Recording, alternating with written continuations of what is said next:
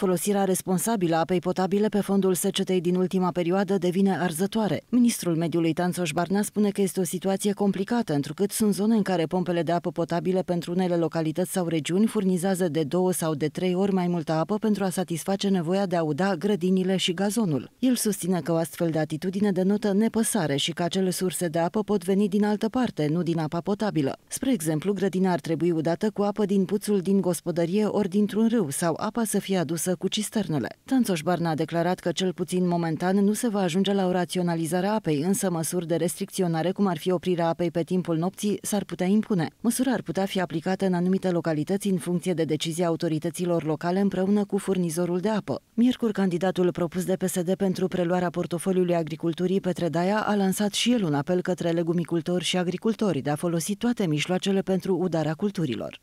În acest moment, România este afectată în proporție de 75% de diverse faze ale secetei, precum moderată, puternică sau extremă.